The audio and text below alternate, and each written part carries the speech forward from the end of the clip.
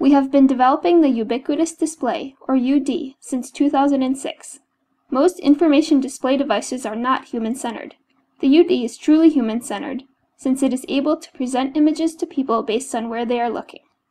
The UD can project information directly on floors, walls, or any objects. In 2007, the UD was improved to have better hardware performance. One improvement was fixed center pan tilt, which makes the UD able to display images with less distortion while the projector is undergoing pan and tilt. By synchronizing actuators and calculating the relationship between the target and the UD, the UD is able to display an image at the same position, in the same shape, even while moving. In 2008, we proposed naked eye 3D projection with the UD. By considering the position of the user's eyes, the UD generates images which are perceived as 3D. A shadow enhances the reality of the effect.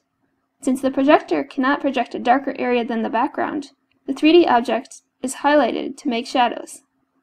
By detecting the position of the user's eyes, the UD is able to generate 3D objects even though the user is moving.